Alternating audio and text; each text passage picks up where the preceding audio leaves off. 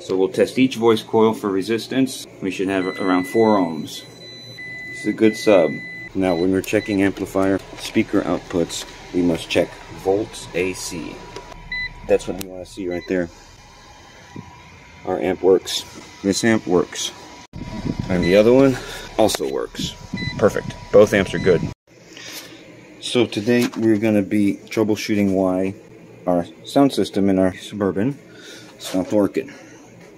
A few weeks ago we had the symptoms of a I'm not sure if you have ever experienced a subwoofer speaker voice coil burning up and failing under power or under load while getting power, continuous power that doesn't, you know, trip out on a fuse or anything, but it is creepy sounding sometimes. Maybe I can find one for you. Anyways, so we thought that they were done. They were blown. But it turns out every once in a while, they'll come on and then they'll cut back off and come back on. So let's find out why. You always want to check your connections, power connections. And if you're going to be taking anything apart, you got to kill the power to it. But look at what we have here.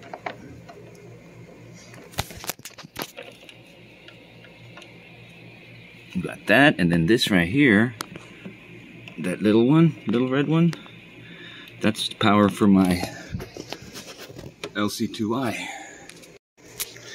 So I think this would definitely cause the cutting in and out. Now, if red was to short across to white, that wouldn't hurt anything because that's remote. So both of those are 12 volt plus. Oh man, look at this. My ground, ground is also messed up. Now then, I'm gonna go ahead and disconnect power. Power is gonna be over here. Fusible link is in here.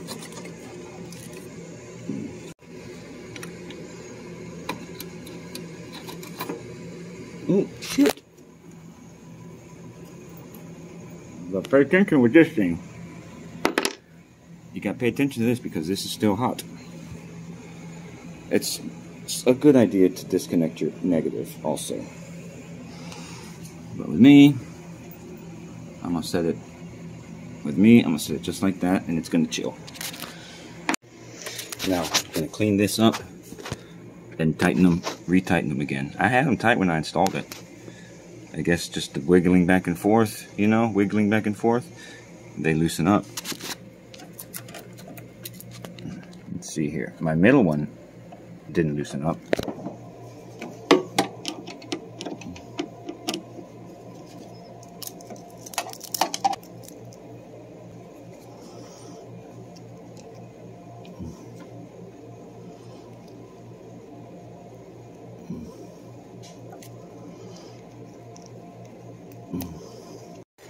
So I was going to try to repair these wires, you know, put new connectors on them and reconnect them, but I actually have another wire that's ready to go that I used before.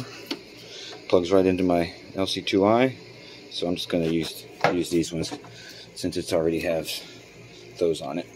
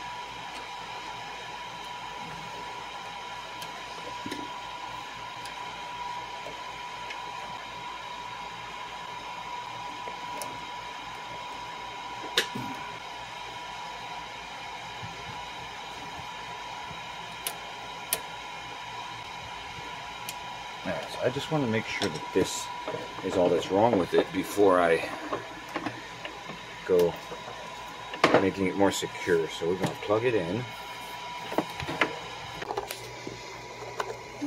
Alright, it's plugged in. Now one thing I do want to do is ohm out the speakers. So to ohm out your subwoofer voice coils, you've got to disconnect them from the amplifier. Duh.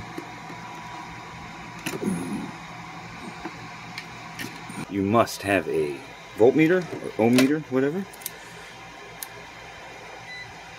And in this case, this is a dual voice coil subwoofer. I've got it wired in for 2 ohms per voice coil. So when they are wired as they are, in parallel or in series, whatever, I can't think the right one, they together make 1 ohm of resistance.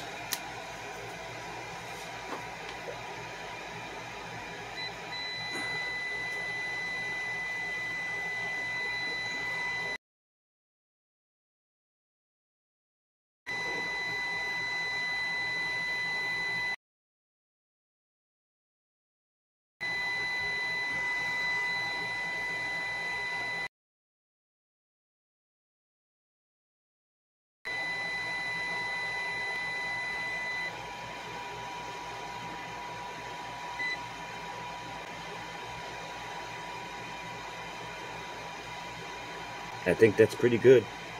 I believe this one's okay. Hope it's worth trying, putting and applying power to it. Tell you that much. Alright, I'm gonna leave those disconnected for now. So I'll show y'all what I can do to test the amplifiers next.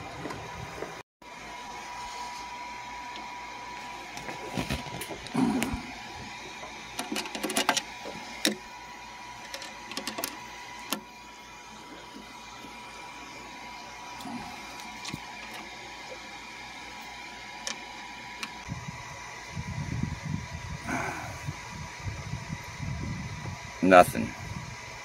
Look, my meter works.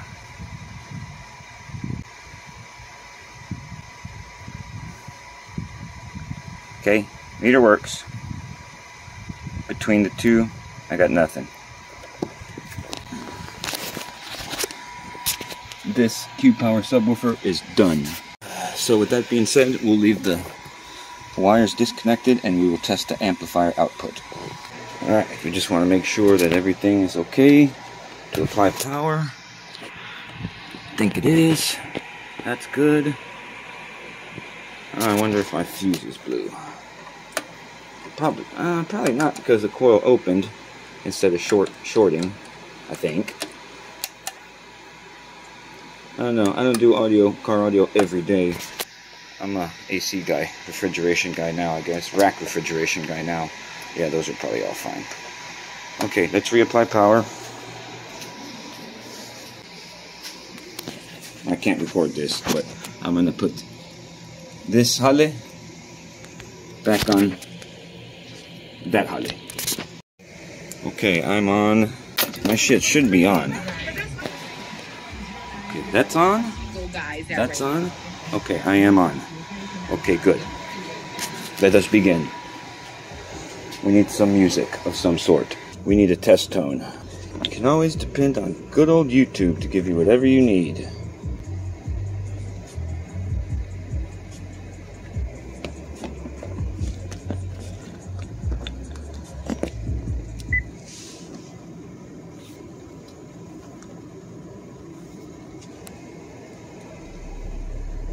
You guys probably can't hear that, but it's it is there. Okay. Now, when we're checking amplifier, car amplifier output, speaker outputs, we must check volts AC. We should have something like 50. Uh, I'm not sure exactly. We should have something though. It's hard to do this with one hand, but whatever. That's what we want to see right there. Our amp works. This amp works. Now we got the other one. And the other one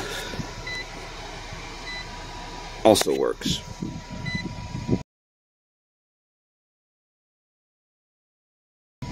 Perfect. Both amps are good.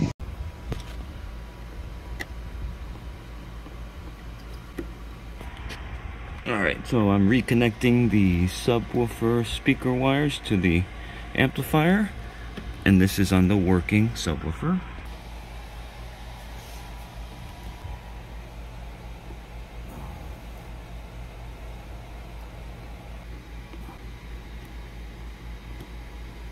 Okay then, so we've got a new speaker, or not new, it's my, it's my spare, okay, my spare been sitting in the attic for a while. You see that pretty little coil down there, voice coil?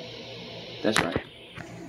So this is the one I'm putting in in place of this one that I took out. As you can see, we've got a voice coil that is blown. And so you see that wire bouncing around right there? That explains why we had no resistance. It's open circuit. Not a shorted circuit, open circuit, there's a difference. So here, two voice coils, each of them are 4 ohms. I think earlier I said 1 ohm, uh, I was wrong. These are actually dual, these are 4 ohm DVCs. So test each voice coil.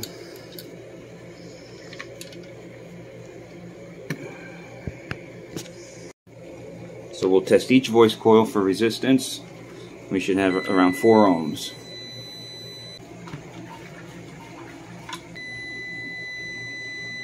So this is a good, this is a good sub. Some you get like three on four ohm. Also, if you notice as I'm talking, this resistance changes a lot if this cone moves. And even just speaking like I am now causes it to move enough to affect the resistance.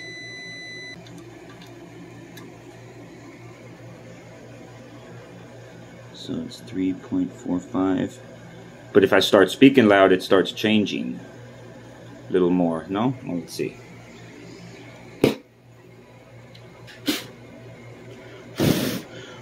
That's just me blowing air on it. So I'm going to get this all set up. And it's going to go in here where it belongs.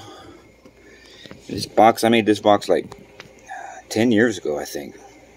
Maybe 12. It's been a long time. Now, I'm not going to be able to get this on camera, but I've got to get this speaker into this box, and I've got to get these wires onto either one of these terminals, posts, uh, and I got to do all that without any of it coming apart. It's tricky, it can be done, but I can't record it. Pretty much like that. That's not really the best connection on this red one. I would prefer to get... Yeah, I'd prefer to get a little more. There. I got it. At least it's uh it's poking out the other side now.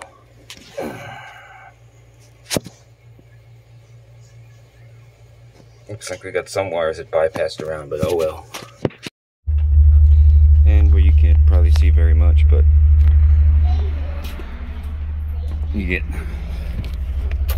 pretty cool things happening.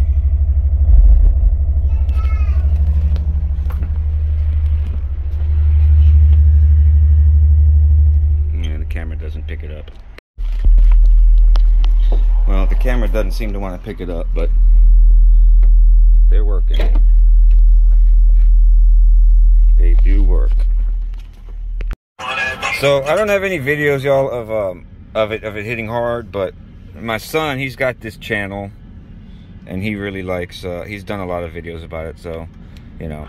You can i'll link it to he's in i'll link it in the description um, but you can also go to my about page my channels page and you can uh, you know check the videos out if you like. He's a good kid. He really likes this stuff and that's the alternator